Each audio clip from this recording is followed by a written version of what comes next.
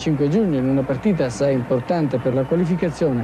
Vediamo appunto questi tre gol, dicevo, con i quali i norvegesi hanno battuto i ciprioti. Il primo gol è su calcio di rigore, lo segna Lindersen. Il raddoppio in mischia è di Dalum. La terza rete viene messa a segno da Sor.